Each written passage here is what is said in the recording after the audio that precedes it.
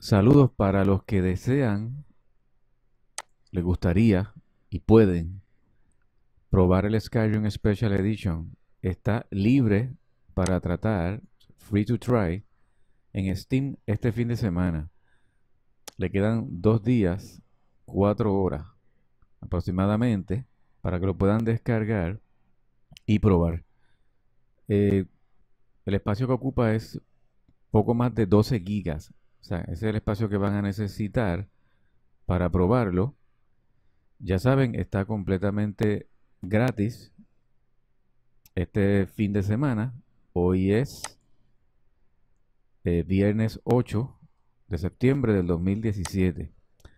Si lo quieren intentar, si lo quieren tratar, si tienen eh, las facilidades para hacerlo, lo pueden hacer.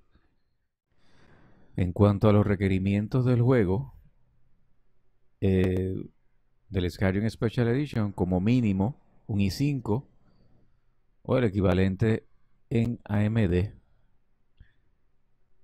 Phenom 2 X4 945.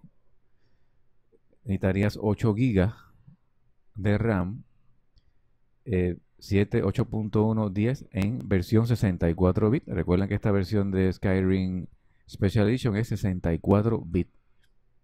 En cuanto a tarjeta, necesitarías una 470 con 1 GB o una Radeon HD 7870 con 2 GB. Y el espacio en disco duro, pues 12 GB. Ya los recomendados sigue siendo un i5 y ya un AMD 8320 FX. Siguen siendo los mismos 8 GB de, RAM. El mismo sistema operativo, 7.8.1 y 10 en 64 bits, la versión.